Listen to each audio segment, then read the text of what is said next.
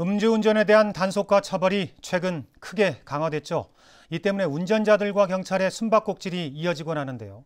심야에 음주 차량과 순찰차가 쫓고 쫓기는 추격전을 펼치다 경찰관까지 다치는 교통사고가 발생했습니다. 김항섭 기자입니다. 칠흑 같은 어둠 속 승용차 한 대가 도로 위를 빠른 속도로 내달립니다. 속도를 줄이는가 하더니 갑자기 방향을 바꿔 질주를 이어갑니다.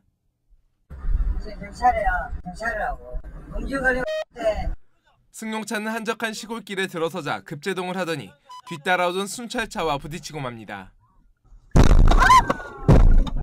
차를 정차했다가 네. 어, 옆길로 바로 도망을 치더라고요.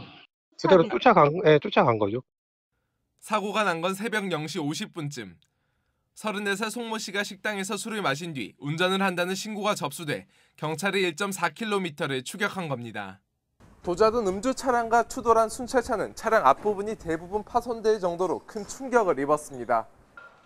경찰관 등 3명이 다쳤고 승용차 운전자 송 씨의 혈중 알코올 농도는 면허 정지 수준인 0.097%였습니다. 경찰은 송 씨를 교통사고 특례법 위반 혐의로 입건했습니다. 음주 상태였던 데다가 또 구미에 경찰 차량이 추격하고 있다는 걸 알고 있었기 때문에 어, 승용 차량에 대해서 어, 사고의 책임이 있다 이렇게 보고 있습니다. 제주 지역에서는 지난해도 음주운전자가 몰던 트럭이 순찰차를 들이받는 등 음주 교통사고로 경찰관 4명이 다쳤습니다. MBC 뉴스 김항섭입니다.